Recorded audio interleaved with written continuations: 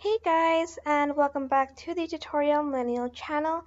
In this video I'm going to be showing you how to create four simple shapes in Illustrator and first I am just going to select the rectangle tool and to make a square I'm just going to press shift on my keyboard and then I'm just going to rotate it 45 degrees and I'm just going to add a circle.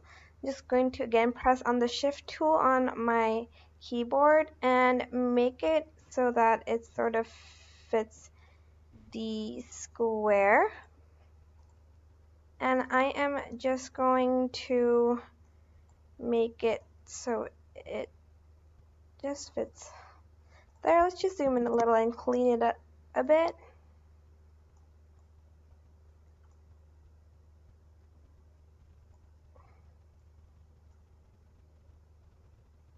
Just hold on. This takes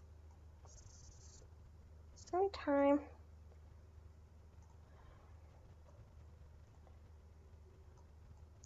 My apologies. Maybe this? Okay all right.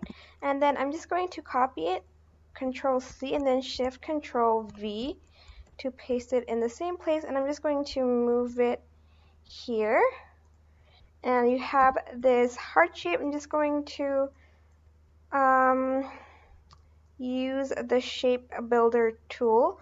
I'm just going to select them all and put them together. Now you have this heart shape, that's shape number one. And now I'm just going to show you how to do a star shape. So let's just get the ellipse tool and create a circle again. And I'm just going to go to effect. Um, is it distort and transform and pucker and bloat. And you're actually going to select a negative number around this much and just press OK. And now you have this star shape and you can select the bottom and make it longer if you want. I'm just going to make it a little smaller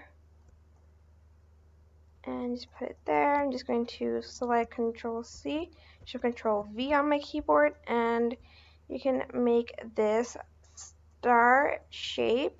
And now I'm just going to show you how to make a moon. So again, the ellipse tool, and I'm just going to copy and paste that. And I'm going to make this a different color so you can see um, the moon shape. So this is the moon, just put it on top. And I'm just going to select both of them and go to Pathfinder. If you can't find it, it's in Windows. And just click Pathfinder. And I'm just going to select both of them. And minus front. And you have this sort of moon shape. Lastly is this flower shape. Again, the ellipse tool. And I'm just going to create a circle and now I am going to go to effect. Distort and transform pucker and bloat but the other way like around this much and I'm just going to press OK and I'm going to go to control C and then shift control V to paste it in the same place and I'm going to rotate it 45 degrees. And you have this cute flower shape if you want to add um, the circle just press the ellipse tool and just put it in the middle of your flower and that is it. Super simple. I hope this video was helpful. Don't forget to like comment share and also subscribe to this channel. If you haven't done that if you have any questions just leave it in the comment section down below and i will try my best to answer them all.